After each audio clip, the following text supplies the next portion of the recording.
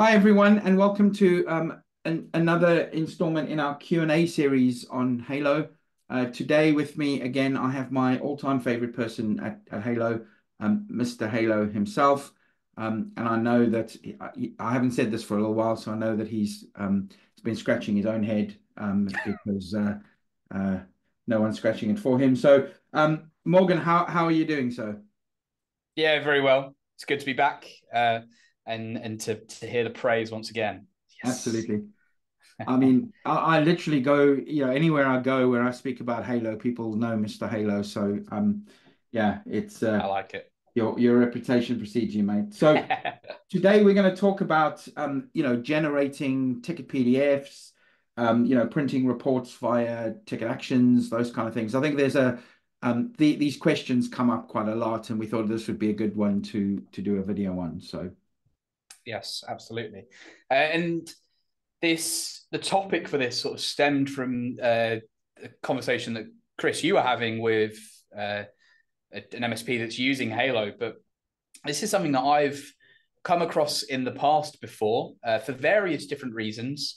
Uh, doing things like uh, creating change orders, um, returning n- not a quote but a, a document. Um, from from the ticket. So yeah, as as mm. Chris mentions, we'll be covering uh, how to print or how to generate the, the ticket PDF uh, directly from a ticket, directly from an action, uh, and then also how to do that uh, with a report. So yeah, mm. without further ado.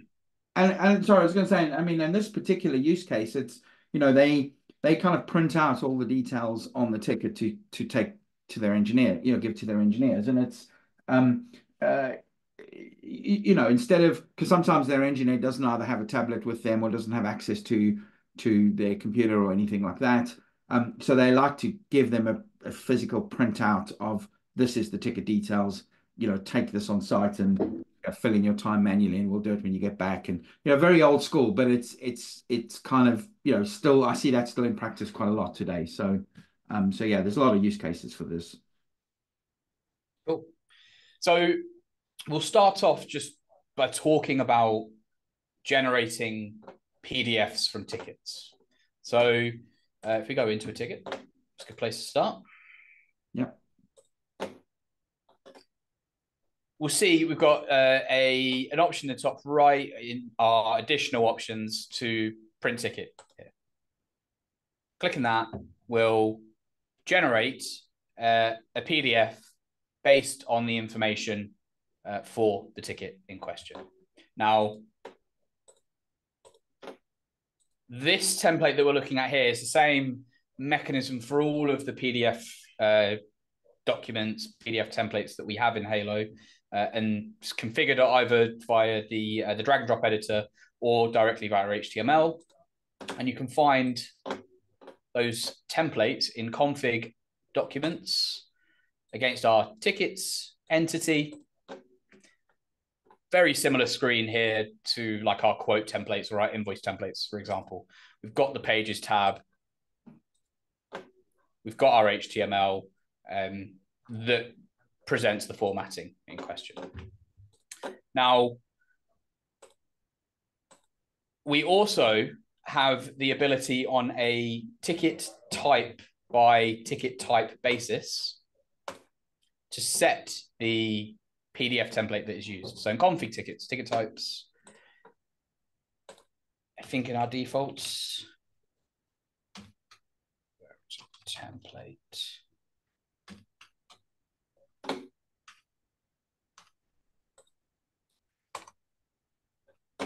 Uh, cool. And uh, this uh, this raises another point that, that Chris and I were just talking about two minutes before we hopped on the session.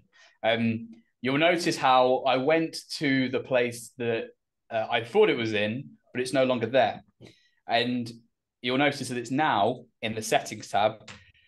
Little point to watch out for. We have, as we've been adding more and more configuration options to our ticket types, it's got to a point where uh, we needed to create more tabs. So uh, I, as I think as of the latest beta, um, you'll find the tabs have been more split out. So if you're looking for an option that you could have sworn was in details but is no longer there, just bear in mind that uh, we've got the forms tab now uh, and we've got the settings tab as well. Yeah, um, and that completely so in, threw me. And and I I I wasn't just I could have sworn that this was there. I was actually swearing at Halo. No, I'm kidding. I was like, where have they actually moved the stuff to? And um, so yeah, it it completely threw me, and I know completely threw Morgan um the first time you saw it as well. So um yeah, so that's where it's moved to. Yeah, um, and so now in the settings tab, we have uh, the option here to set the PDF template for our tickets that we've got in there. Um, and that will determine the, the PDF template that is used when generating the PDF for our tickets based on the tickets type. That's one way of doing it. Uh, one too many clicks, I suppose, having to go, firstly, having to remember to go to the three dots, then having to, to click that option to generate the PDF. You might actually want to speed that process up a little bit and uh, have an action uh, at the top of your tickets that generates the PDF for you. And you can do that by creating an action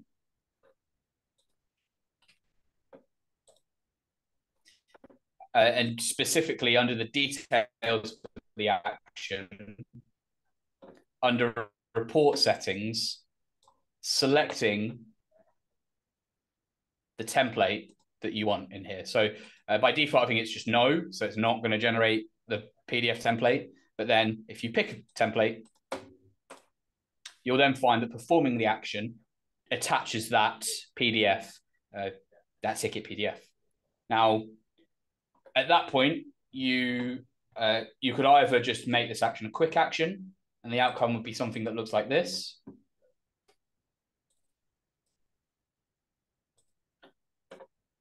Uh, on your action, you've uh, sorry, on your ticket, you've got your action print PDF. Click that.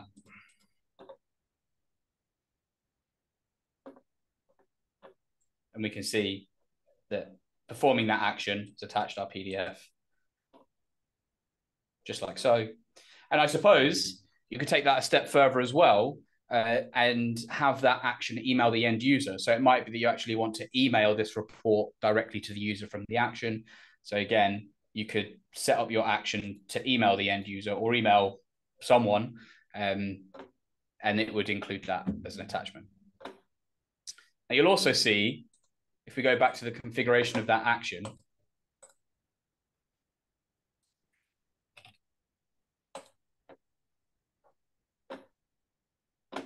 we have here uh, this run report. So you can attach the ticket PDF, but you might instead actually want to attach a report associated to the ticket, billable hours, perhaps, uh, or, or something similar to that. If you wanted to do that, in this drop down, you just pick the report that it is that you want to run. And you'll see when you select the report, uh, you've got a few options as to what to attach. Do you want to attach the report PDF? Do you want to attach it as a CSV or perhaps just attach the raw JSON? And furthermore, you can see uh, there's a little note below that mentions that you can also use dollar report data or dollar report JSON to um, to return the contents of that report in the note for the action. So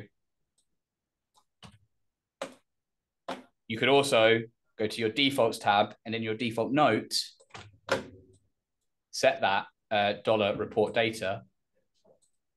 And then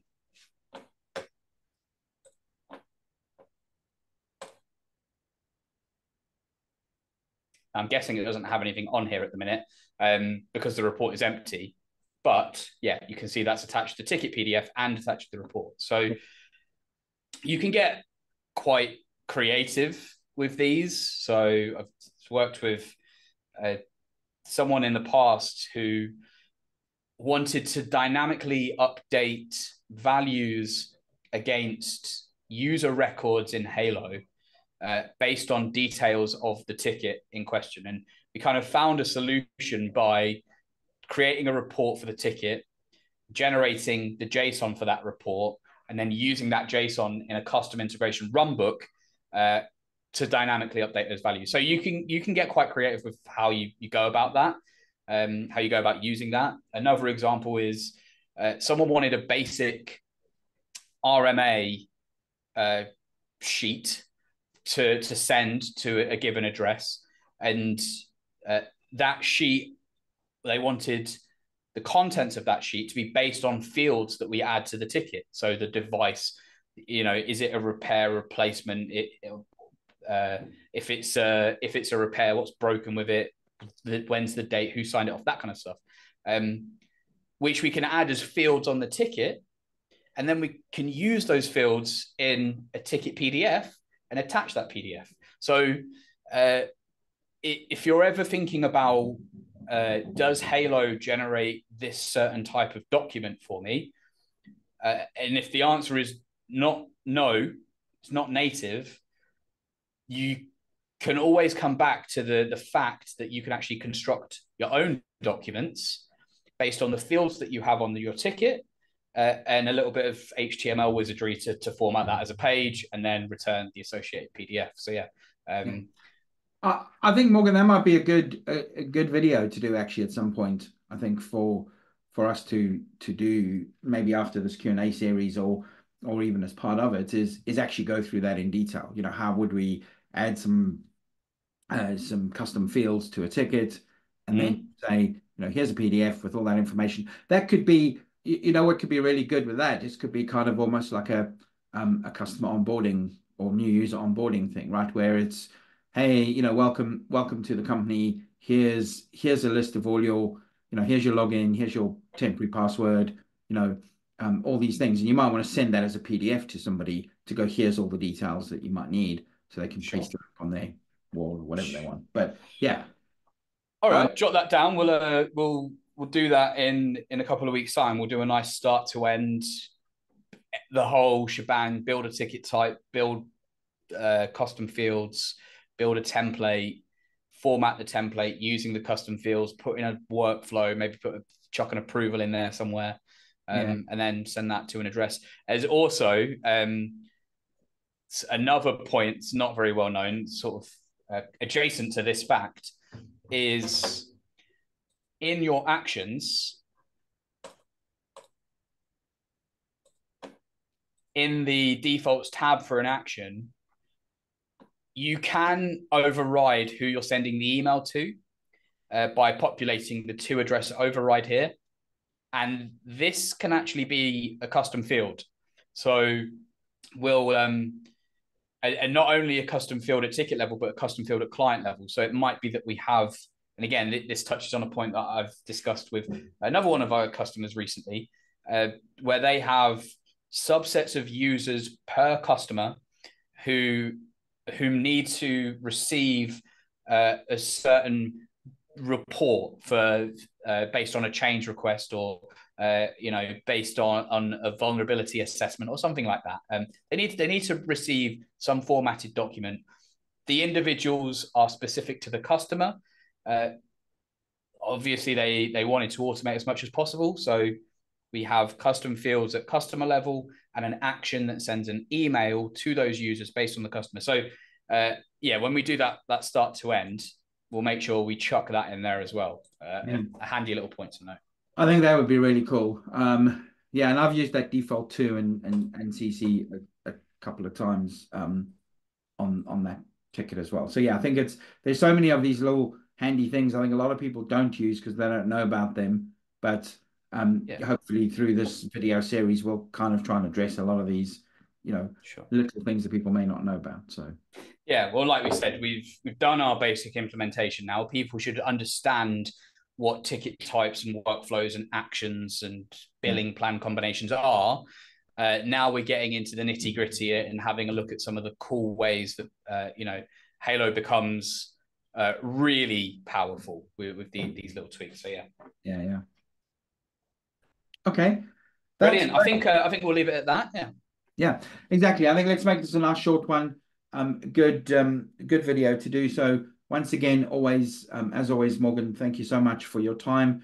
Uh, thank you for Halo, to Halo for letting us borrow you and do these videos. they really are getting a huge amount of traction. So I think you know everyone's loving them. Um, and if nothing else, mm-hmm. you're getting a good um, a, a, good kind of reputation out there as Mr. Halo, right? So if, sure. if nothing else, um, everyone else is going to start calling you that from now on as well. Um, so thanks that's very why, much. That's why I do it. That's yeah, the real reason why I do it. The only reason, right? It's nothing to do with me or anyone else. It's just that's the exactly. Um, so thank you so much. Really appreciate it, and uh, look forward to seeing you on the next video. Yeah, always a pleasure, and see you on the next one. See you on the next one.